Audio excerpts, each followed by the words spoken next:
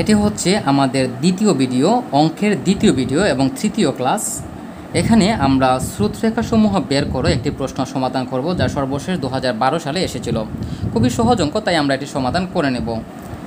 তো দেওয়া আছে এ ইউ সমান এ এক্স ভি সমান এ ওয়াই এবং ডব্লিউ সমান হচ্ছে এ জেড। আমরা এখানে minus two a z, sorry. যেহেতু আমরা শ্রুতরেখা বের করব, আমরা লিখব শ্রুতরেখাসমূহ প্রদত্ত হয়। শ্রুত রেখাসমূহ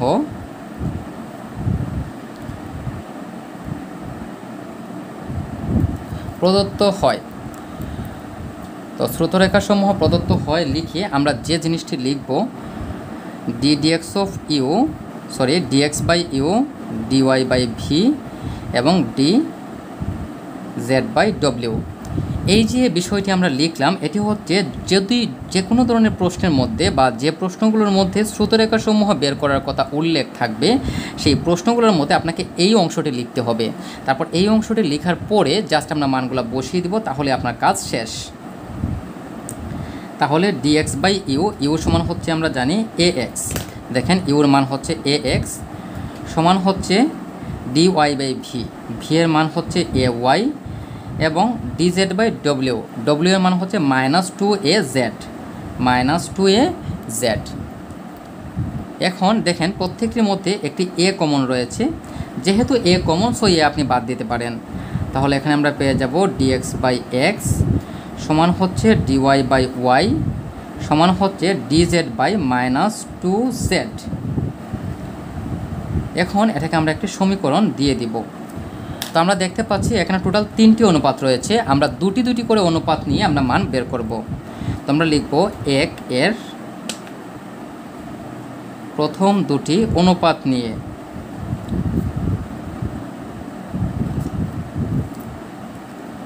একের প্রথম দুটি অনুপাত আমরা নেব।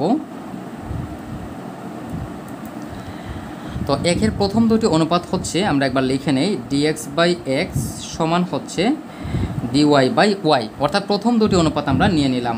এখন জাস্ট আপনি ইন্টিগ্রেশন করে দিবেন। দেখেন, এখানে এই টাইপের যত প্রশ্ন রয়েছে, সবগুলোর প্রশ্নের অন্তরীকরণ হচ্ছে লন নিচের মান। এটা হয়ে যাবে লন ওয়াই এবং আমরা হিসাবের সুবিধার জন্য এটার সাথে আমরা একটা লন সি নিয়ে আসব। সূত্রটি আমি লিখে দিচ্ছি। সূত্রটি হচ্ছে ইন্টিগ্রেশন অফ এফ অফ নিচে হয় যদি এফ অফ এক্স হয়, এবং উপরে যদি এফ প্রাইম এক্স ডিএক্স হয় তখন এটার ইন্টিগ্রেশনের সূত্র হচ্ছে লন মোডলাস অফ নিচের মান। তো এটি মনে রাখার জন্য আপনি যে কাজটি করবেন, সেটি হচ্ছে এক্সের যে অন্তরীকরণ, আমরা জানি এক্সের অন্তরীকরণ ওয়ান কিন্তু এক্সের যদি উপরে যদি ডিএক্স থাকে, অর্থাৎ এখানে ডিএক্সের সাথে কিন্তু ওয়ান রয়েছে এক্সের অন্তরীকরণ কিন্তু উপরে আছে, এবং ওয়াইয়ের অন্তরীকরণ আমরা জানি ওয়াই সাপেক্ষে করলে হচ্ছে ওয়ান এটিও কিন্তু আমাদের উপরে রয়েছে। তো নিচের ভ্যালুর মান যদি উপরে থাকে, তাহলে আমরা লন নিচের মানটি লিখতে পারি। তাহলে যেহেতু এক্সের অন্তরীকরণ ওয়ান উপরে রয়েছে সো লন এক্স ওয়াই হচ্ছে লন ওয়াই এবং মান মেলানোর জন্য এটির সাথে আমরা যে ধ্রুবকটি আনলাম, সেটা নিয়ে আসলাম লন সি এটা আমাদের আসলে হিসাবে সুবিধার জন্য। তাহলে এটাকে আমরা লিখতে পারি লন এক্স আমরা জানি ln a plus ln b সূত্র হচ্ছে লন এ বি তাহলে এটা হয়ে যাবে ওয়াই সি তাহলে এখান থেকে আমরা পাবো এক্স ইকুয়াল হচ্ছে সি ওয়াই তো আবার এই যে এক নং সমীকরণ, এক নং সমীকরণে পরের যে দুটি অনুপাত রয়েছে, এই শেষের দুটি অনুপাত নিব। এখন আমরা লিখব একের শেষ দুটি অনুপাত নিয়ে।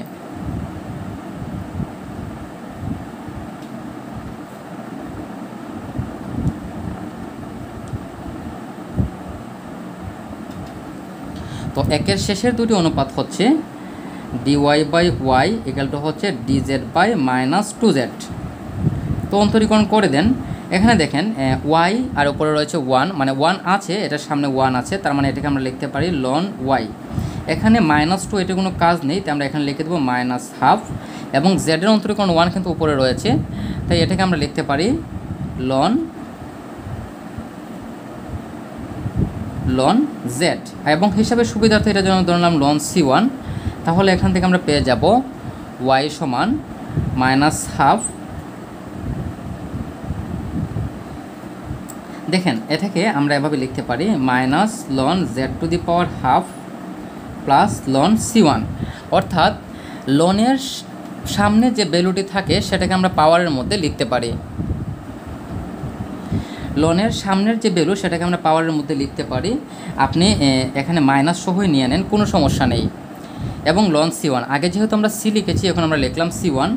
তাহলে আমরা লিখতে পারি ওয়াই সমান যেহেতু ln a plus ln b সমান হচ্ছে লন এ বি অর্থাৎ ln c one z to the power minus half তারপরের অংশটা আমি এখানে দেখিয়ে দিচ্ছি, পরের পেজে না গিয়ে।